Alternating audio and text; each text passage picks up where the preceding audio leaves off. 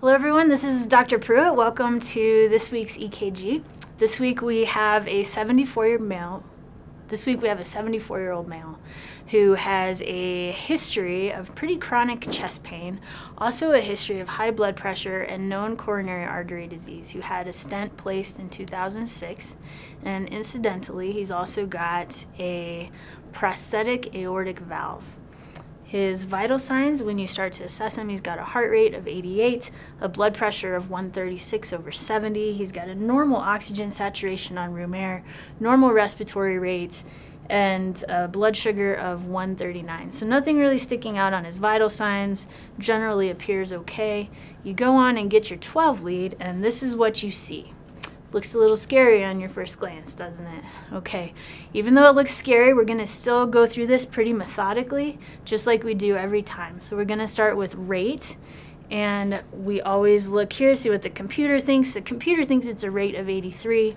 I'm gonna look and see if I agree with the computer, and so I always look for a QRS that lines up with a thick red line, and I see one right here, and then we count down. So we do 300, 150, 175. So this guy is somewhere between 75 and 100, which would put him about 83. I agree with the computer. We've got a rate of 83. Next thing we want to determine is our rhythm. And so first, is the sinus or is it not? We look for our P waves to indicate that it's coming from the sinoatrial node. And lead 2 is always our favorite place to look for those. I do see P waves in lead 2. Um, and pretty much throughout the entire 12 lead, ICP waves before every QRS. I'll go ahead and call this a sinus rhythm. Next question is, is it regular or irregular? This is a quick um, test of the naked eye. Um, to me, it looks like our QRS complexes are pretty evenly spaced, just like a metronome. It looks like it's working and beating like it should pretty regularly. I don't see any wide spaces, narrow spaces. I would call this a regular sinus rhythm. Next we get into our axis. This is where we look at lead 1 and lead AVF and we get to use our thumbs for the vectors of the QRS. So in lead 1, the vector of the QRS is mostly up. We have a thumbs up on our left hand with lead 1. AVF though is mostly down. So if we take our right thumb for lead AVF and point that down, what we're left with is our left thumb up, which would indicate that we have a left axis deviation. And as we move on to our intervals, this is where it gets a little bit interesting. We start with our QRS, and we're asking ourselves, is it wide or is it narrow? And our definition of wide is anything greater than 120 milliseconds. Well, here we're at 138. And just like we talked about with our right bundle branch blocks, same thing, whenever I see a wide QRS, first place I go is to lead one, V1, and I ask myself, what does that look like? Is it mostly up? Is it mostly down? I just learned from Lieutenant McGee about the blinker, uh, which is really helpful, I think. If you're in your car and you go to do your turn signal, um, if you're going left, it goes mostly down. That's where we are here, indicating a possible left bundle branch block in the setting of a wide QRS. Next, we move on to look at our QT. Normal is less than 450. We're at 466 here. I'm going to take note of that, but not be totally surprised because in the setting of a wide QRS, everything stretches out, and so it's not uncommon to have a longer QT when you have a wide QRS, and that's a little bit less pathological in terms of prolonged QT because we have an explanation for why it's long. It's long because the QRS is wide. As we move on to our ST segments, this can get a little bit difficult in the setting of a left bundle branch block because it's not uncommon to have a little bit of ST elevation going through, especially the anterior septal leads. You see that there's one or two boxes of that here. And so I'm sure you learned when you were coming through school it's very difficult to determine ST elevation or a STEMI in the setting of left bundle. So we do see some ST elevation in the septal or anterior leads that's expected with a left bundle. I don't see any necessarily, maybe a little bit inferiorly as well. Um, so it's hard to interpret, right?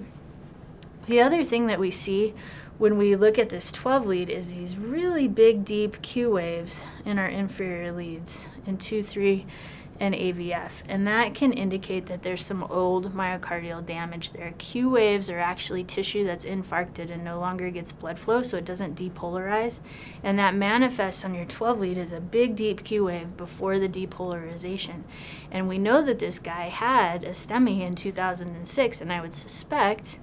Um, probably his old STEMI was on this right side, and that's what we're seeing here is the manifestation of his old heart attack with those Q waves in the inferior leads. So what we have at the end of the day is we look at this 12 lead, we have a sinus rhythm with a rate of 83, a leftward axis in the setting of a left bundle branch block with also a first degree AV block, and then some old Q waves in the inferior leads. And when we think about left bundle branch blocks, I know you probably took a look at this 12 lead and thought, oh my goodness, this looks abnormal. Well, that's true. And typically, left bundle branch blocks are a signal of a pretty sick heart. This only typically happens in our folks that have some underlying pathology that really is associated with a much higher cardiac mortality. So either they have extensive coronary artery disease, a lot of times they have had a heart attack that led to this, uh, cardiomyopathy, congestive heart failure.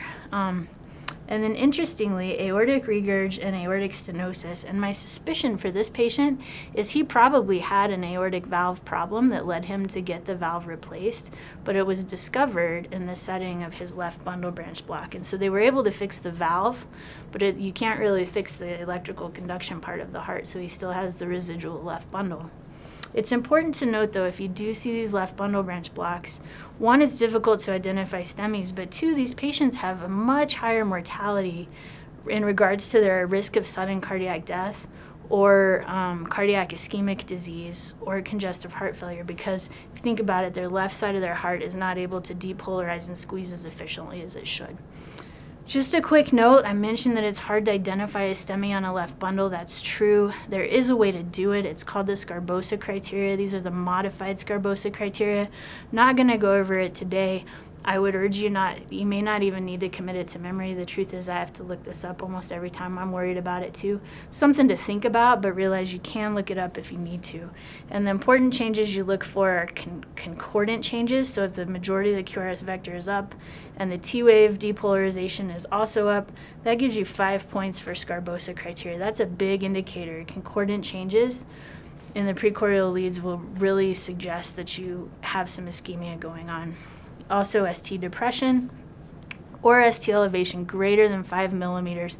We talked about a little ST elevation being normal, but in this case it is profound ST elevation. And those will all get you points with the Sgarbossa scoring criteria to suggest that there may be some myocardial ischemia going on. Again, feel free to look this up if you need to. It's hard to commit to memory. And that is all for today for our left bundle branch block. Thanks for tuning in, and we'll see you next week.